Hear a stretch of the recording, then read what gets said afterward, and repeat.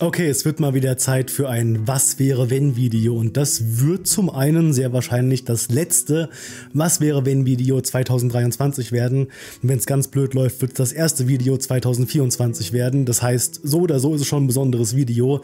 Noch dazu ist es jetzt hier das allererste Was wäre wenn Video aus dem Godzilla-Universum und wir beschäftigen uns jetzt mit einem Was wäre wenn Szenario, das so tatsächlich im Film passieren könnte. Denn dieses Was wäre wenn jetzt hier spielt vor der Veröffentlichung von Godzilla and Kong. Und wir beschäftigen uns heute mit der Frage, was wäre wenn Scar King es schafft, Godzilla mit seiner Peitsche zu kontrollieren. Das hört sich in der falschen Tonlage wirklich falsch an. Trotz allem starten wir jetzt mit dem Video. Viel Spaß.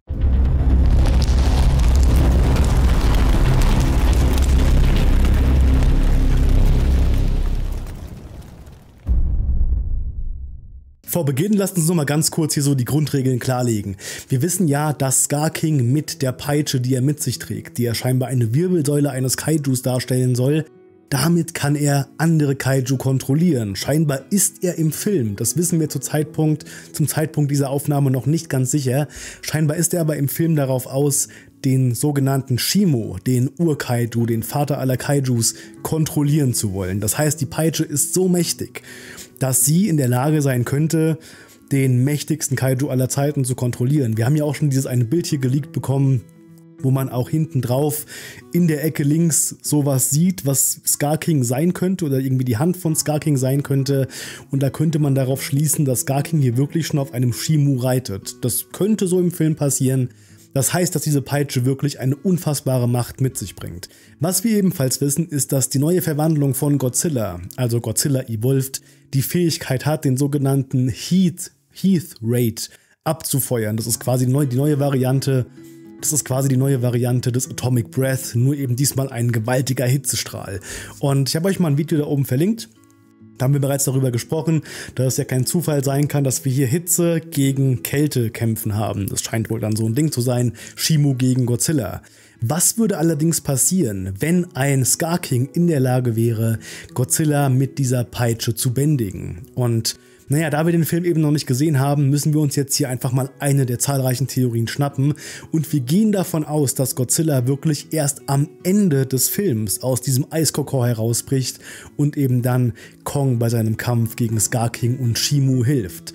Was wäre, wenn während dem Kampf gegen Scar King dieser es eben schaffen würde, Godzilla mit der Peitsche zu manipulieren und dann eben auf Kong zu hetzen. Das würde ja allerdings nur dann funktionieren, wenn er die Kontrolle nicht mehr über Shimu hätte. Denn ich glaube, dass diese Peitsche nur in der Lage ist, einen einzigen Kaiju zu kontrollieren und nicht ganz viele verschiedene gleichzeitig. Eben quasi wie so eine wie ein Lasso, ganz blöd gesagt, wo du eben dann nur einen Kaiju damit einfangen kannst, den du eben auch kontrollierst. Das heißt, Nachdem Godzilla sich nun verwandelt hat und eben nun die Hitzemacht besitzt, könnte Godzilla mächtiger sein als Shimu selber.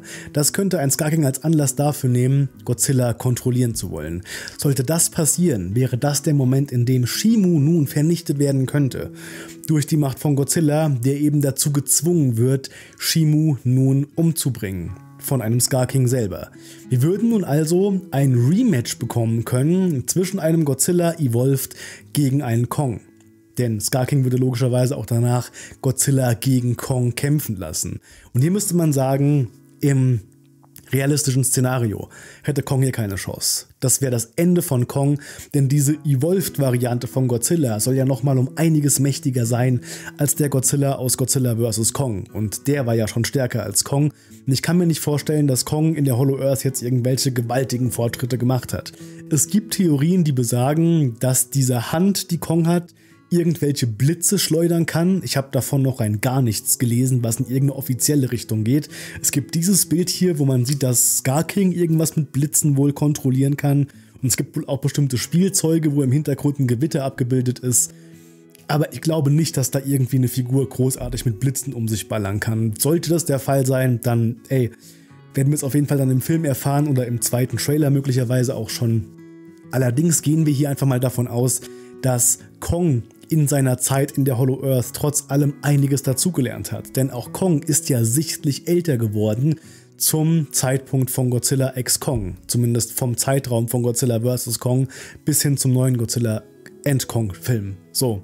Ähm, es ist kompliziert, wenn die Namen immer fast gleich klingen. Auf jeden Fall haben wir jetzt hier einen älteren Kong und wir haben ja schon mal drüber gesprochen, dass das Alter bei Kaijus nicht immer, aber meistens dann doch auch in ein Indiz für die Macht ist, dass die Tiere wirklich mit sich bringen. Je älter ein Kaiju ist, umso mächtiger ist er in der Regel eben auch.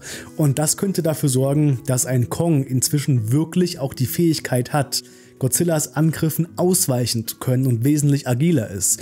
Noch dazu dürfen wir nicht vergessen, dass wenn ein Godzilla evolved wirklich unter die Kontrolle von einem Scar King gerät, dann agiert Godzilla nicht mehr unter eigenem Willen, sondern immer noch unter der Kontrolle eines Scar King.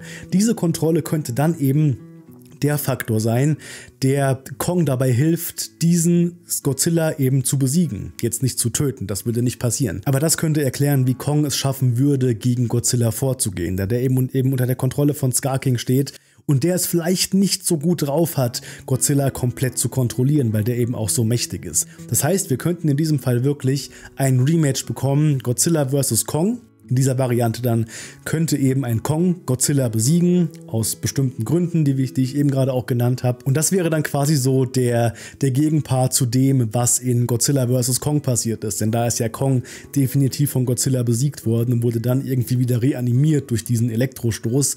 Jetzt hätten wir eben dann hier die andere Variante, dass ein Kong einen Godzilla besiegen könnte, um dafür zu sorgen, dass Scar King die Kontrolle über Godzilla verliert. Daraufhin könnte Scar King gegen Kong kämpfen und naja, Scar King würde den Kampf dann sehr wahrscheinlich auch gewinnen. Bis ein Godzilla allerdings dann wieder auch erneut zu Kräften kommt und dann haben wir den Kampf Godzilla und Kong gegen Scar King. Das heißt, jetzt wird dann eben hier Scar King komplett ausgelöscht werden. Shimu ist allerdings tot, das heißt, Godzilla wäre im Endeffekt dann der mächtigste Kaiju, der aktuell auf der Welt existiert. Das wäre einfach mein Gedanke zu diesem Was wäre wenn. Ich bin der Meinung, dass es gar nicht mal so unwahrscheinlich ist, dass irgendeiner der beiden Kaiju, Kong oder Godzilla, dann doch auch von einem Scar King kontrolliert werden wird. Das macht irgendwie Sinn. Dramaturgisch für Storytelling glaube ich, das wird dann auch so weit kommen. Mal gucken, ob ich damit recht hatte und wie das Szenario dann eben wirklich weiterhin ablaufen würde. Jetzt bist natürlich wie immer du gefragt, wie ist deine Meinung dazu? Schreib es mir gerne in die Kommentare unten rein. In diesem Sinne bin ich raus für heute mit dem Video. Ich wünsche euch was. Bis zum nächsten Mal. Ciao.